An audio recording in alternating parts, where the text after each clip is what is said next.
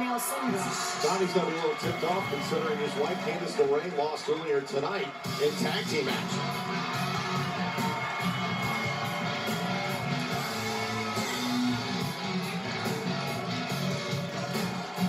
To the front, representing the undisputed era, Roderick Strong. Well, remember in that triple threat qualifying match, Gargano caught Strong out of nowhere with the one final beat DDT before Gargano could crawl over to Strong.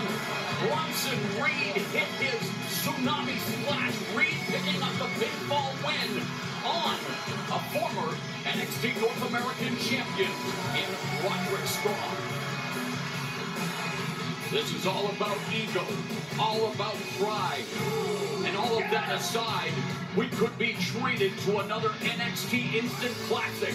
Two of the thoroughbreds of the black and gold brand, Tom. And this is a takeover caliber match. Let's not make any mistake about it. But these are two men who have something to prove. They're both obviously upset about missing out on what was a golden opportunity afforded by the former North American champion Keith Lee, now singularly the NXT champion Keith Lee.